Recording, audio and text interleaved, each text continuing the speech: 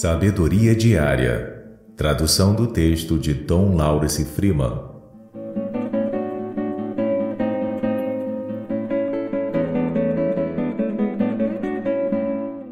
Começamos a perceber que desenvolver nossa capacidade de atenção, que é o que nos torna humanos, leva tempo.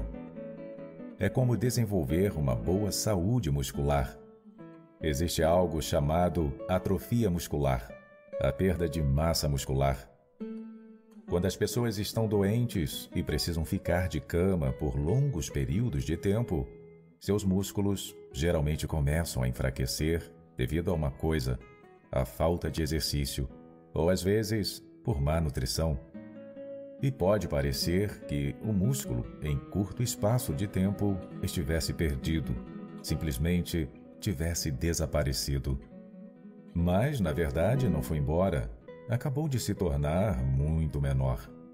Mas pode ser reconstruído.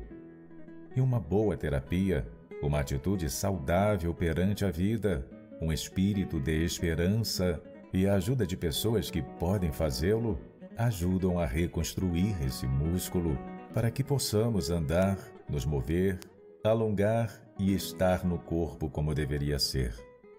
O mesmo se aplica à mente e à nossa capacidade de atenção.